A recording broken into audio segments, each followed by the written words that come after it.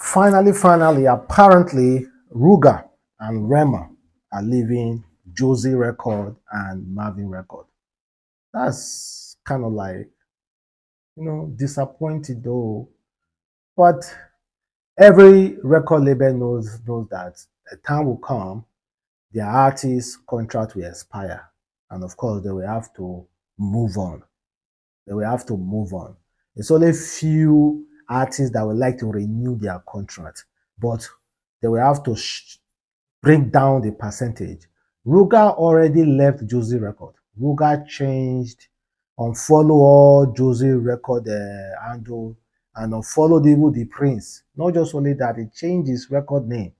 So we'll be expecting to hear directly from Ruger next time, not direct, not through his record label.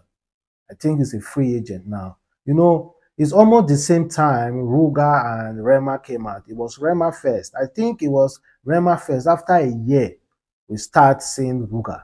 So Rema came out first, then before Ruger. So very, I, am sure uh, Ruger's uh, uh, Rema contract is already has already expired. But I believe Roma, Rema might still might still decide to renew his contract with Mavin record stroke Josie record. But just that the percentage will be less. Percentage. Maybe if those two records were carried were were, were collecting like uh, let me say we're collecting like 30 to 40 percent of uh, his total earnings of any contract, then I think they might decide to reduce it to 20 percent or to even 15 or 10 percent because Rema need their services. He need their services to keep uh, moving on until he's able to stand firmly on his own. I don't really advise uh, I don't really advise artists to quickly jump off good record label. I don't really advise them. It's good to continue your relationship, but make sure you have the negotiating power. If you know they have something to offer, and the Mavin record definitely have something to offer. You know, but all the same, a time will come, these artists will want to go their separate ways. Like, uh, you know, Don Jazzy himself has, uh, has given freedom to a lot of artists. Tiwa Savage, uh, Reekado Banks, so many artists Don Jazzy record has given freedom to. So, and yet he's still bringing in more. He had about, he, I think he has about four artists now that he's currently working with. So he has a lot on his plate. He has a lot on his plate. So I wish about the best though. Uh, they are both talented, Rema and Ruger. but Ruger has left. Rema, I'm not sure if he has left uh, the the record label. I'm not sure about uh, uh, Rema.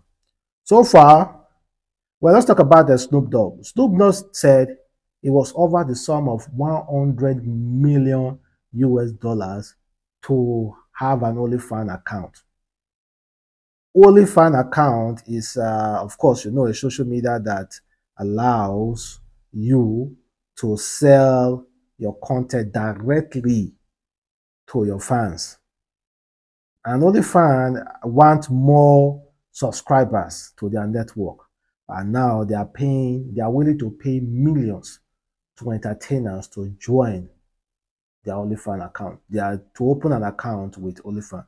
Many other entertainers have opened an account before. Uh, Cardi B has an account on OnlyFans. Iggy has an account with uh, OnlyFans. I don't know. Uh, Blac Chyna used to have an account. I don't know if she deleted that account. According to uh, to Snoop Dogg, he said I rejected 100 million naira, eh, 100 million dollars, so sorry, not naira, to show my pumping machine on OnlyFans, to show his cucumber on OnlyFans. The American rapper Snoop Dogg has revealed that he turned down a 100 million US dollars.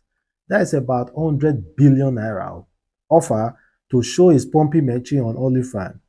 OnlyFans is an internet content subscription service used primarily for sex workers he made a revelation in an interview on uh, Wake and Bake.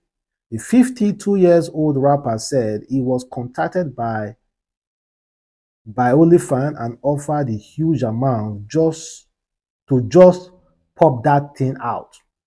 He said, they were, they were like, OnlyFans want you to come on there, Snoop. You could do it for about 100 million US dollars. All you have to do is to pump that thing out. I am like, I have, I have got a black wife. There is no way in the world she is going to allow me to go out there and pump that thing out for no amount of money. this guy has a wife and you want Snoop Dogg to bring that his, his pumping machine to start showing to fans. Abi. Ain't no way. Ain't no way. But 100 million US dollars is a big amount. 100 million. Ah. One, 100 billion naira. That is a huge amount. Huge amount. 100 million. 100 billion naira. 100 billion naira. Just to come on on on just like this and then bring out your cucumber and show it to the world. Chai. But his wife will never allow him though. Never. Snoop Dogg has, a, has too good reputation to be going around flaunting his thing. He has money already. He has money, super rich. So that is not even an option at all. So let's talk about uh, Medikal. Medikal, a Ghanaian artist who has uh, Shatta Wale as an idol. Just imagine having Shatta Wale as your mentor. Kai! who Shatta Wale is his mentor, recently said the only artist richer than him in Nigeria is Davido. Automatically, he has more money than Wizkid and even Burna Boy, even Rema and the rest. What an insult. What an insult. But what do we expect? What do we expect from such person whose backbone, whose mentor is Shatta Wale? Shatta Wale learned the hard way.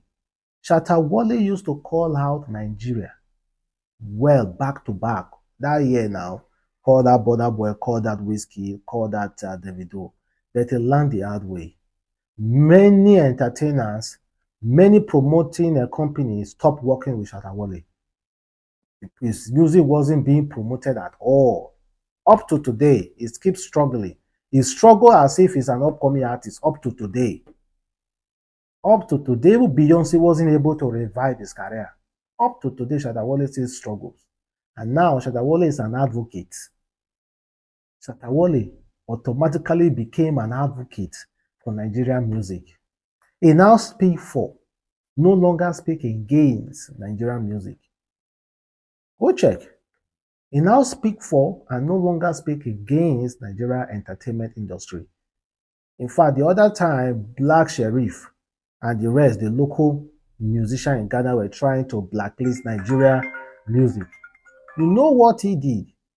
He quickly came online to say, nah, you cannot drop Nigerian music. He said he wished it was even from Nigeria. But his boy now, Medikal or Medica, is doing the same stuff and is going to learn the hard way. The little fame, the little fame is enjoying his Ghana in Ghana is not enough for him. So he's going to learn the hard way. It's not as if we are able playing his music. We do not even play his music. It's someone that is not even known when it comes to the entertainment industry, but he's still going to learn the hard way because we Nigerians, we do not back off. He's still going to learn the hard way. We need to put him in his place. Even with Davido, that is even praising and systematically abusing the other. Davido will not, Davido will, do, will, will not, do not like that beef. Davido will not like that beef. He doesn't want to even start that beef. Davido will not like that smoke. He will not even like the smoke. We already know who is the richest and who has more money. Hmm? In entertainment industry, there is no Ghanaian artist. In fact, Ghanaian artists, the entire Ghanaian artists uh, will be competing with Rema. one Rema's record calm down. The success of Rema record calm down in USA alone can overthrow the entire Ghana music industry. I'm just saying, you know, when it comes to downloads and, and airplay, it can overthrow them. The entire music, and entire music industry, their total views over the years, eh, calculate them together, add them up, and the money made from them, from downloads, is equivalent to Rema's calm down. It's not a boast. It's statistics. Go and check it. It's equivalent to Rema's calm down. I don't even want to talk about Love Nwantiti by CK or Essence by David O. Or you know Rema, you know uh, the Davido, the, the, the uh, Essence by Whiskey. Davido won't come. Or should, should we talk about Burna Boy Last Last and so many other songs?